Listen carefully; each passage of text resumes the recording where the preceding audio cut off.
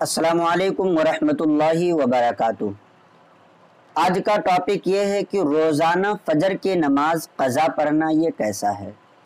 कुछ हमारे भाई ऐसे हैं जो अल्हम्दुलिल्लाह नमाज़ों के पाबंद होते हैं और वो नमाज़ों को पढ़ते भी हैं।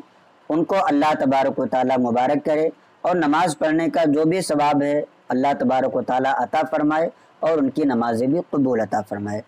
कुछ ऐसे भी हैं जो नमाज़ें पढ़ने की कोशिश करते हैं लेकिन फजर, जहर, असर, मगरिब और ईशा पढ़ते हैं और फजर जो है, ये बिस्तर पर चला जाता है और रोज़ाना इसको कज़ा पढ़ते हैं। तो सबसे पहले आप ये याद रखिए कि रोज़ाना जो है, फजर की कज़ा नमाज़ पढ़ना, ये इंसान की सुस्ती, काहली की वजह से होता है। कोई भी शख्स जो नमाज़ का आदि हो, नमाज़ पढ़ने का पाबंद हो और वो ये चाहता हो कि मैं फजर की नमाज़ में उठूँगा, मैं फजर की नमाज़ अदा करूँगा तो रोज़ाना ऐसा नहीं हो सकता है कि रोज़ाना वो सो जाए। कभी कभी ऐसा होता है कि महीने, दो महीने में, एक बार, दो बार फजर की नमाज़ में सुस्ती आई, सो गया तो ऐसे सूरत में उसको कज़ा करनी चाहिए और कज़ा नमाज़ उसको पढ़ना ज़रूरी होगा। लेकिन रोज़ाना कज़ा नमाज़ पढ़ना तो ये जो है काहिली सुस्ती की वजह से है और दीन से दूरी की वजह से है। इसमें आपको दो चीज़ें सामने आती हैं और दोनों चीज़ों का गुना आपको मिलता है। पहली चीज़ तो ये है कि नमाज़ ना पढ़ना वक्त पर तो वक्त पर नमाज़ नहीं पढ़ेंगे तो उसको कज़ा पढ़ लेंगे, ये चीज़ आपकी अदा हो जाएगी। और दूसरी चीज़ जो है, वक्त पर ना पढ़ना। वक्त पर ना पढ़ने का जो गुनाह है ये गुनाह अल्लाह तबारक से बग़ैर तोबा किए माफ़ नहीं होगी। आपने फजर की नमाज़ अदा नहीं की थी और आपने ज़ोर में, यासर में या मगरिब में या अशा में आपने कज़ा कर लिया तो अब आपकी वो नमाज़ अदा हो गई। लेकिन जो वक्त पर नहीं पढ़ा था, उसका जो गुनाह है, अल्लाह तबारक ताली कलाम मुक़दस में इरशाद फरमाता है फ़वैलदीन हम अन सलातिहिम साहून कि वैल है उन लोगों के लिए जो अपनी नमाजों को भूले बैठे हैं। भूले बैठने का क्या मतलब? नमाजें पढ़ते तो हैं, लेकिन वो वक्त से मौखर करके, वक्त से ताखिर करके पढ़ते हैं। तो अल्लाह तबारक ताली ने उनके लिए वैल की वईद सुनाई है।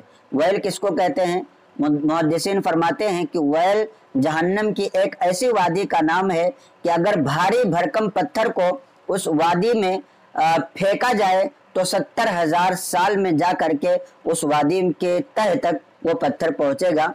और इसमें किसको डाला जाएगा? इसमें उन लोगों को डाला जाएगा जो फजर की नमाज़ या जहर की नमाज़ या असर की नमाज़ या मगरिब, इशा की नमाज़ को वक्त से मौखर करके पढ़ते हैं, वक्त से लेट करके पढ़ते हैं, कज़ा नमाजें पढ़ते हैं। उनके लिए ये वईद आई है।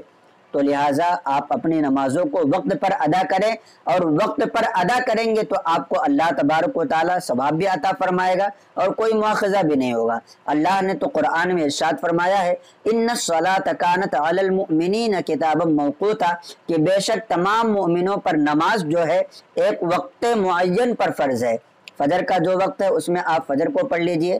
जहर, असर, मगरब, इशा का जो वक्त है, आप उन अवकात में, उन नमाजों को पढ़ लीजिए। आपसे कोई मुआजा नहीं होगा। अल्लाह तबारक वाली आपको इस पर अजर भी अता फरमाएगा और आपको इस पर ज़्यादा से ज़्यादा सवाब भी अता फरमाएगा।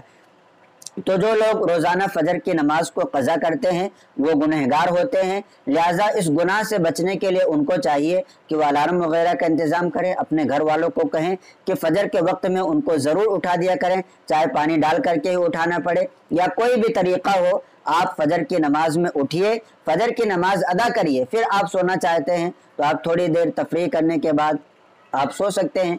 कोई हरज नहीं है। लेकिन फजर की नमाज़ को उनके वक्त पर अदा करिए, वरना आपको गुनाह ज़रूर मिलेगा।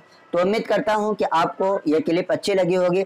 आपसे गुजारिश है कि आप अपने दोस्तों अहबाब को भी इस क्लिप को ज़्यादा से ज़्यादा शेयर करें, ताकि उन्हें भी दीनी मालूम हासिल हों। और हमारे चैनल पर अगर आप नए हैं तो चैनल को सब्सक्राइब कर लें और अपने दोस्तों अहबाब को भी इस चैनल से जोड़ें, ताकि उन्हें भी दीनी मालूम हासिल होती रहें। असलकम वरहमल वर्का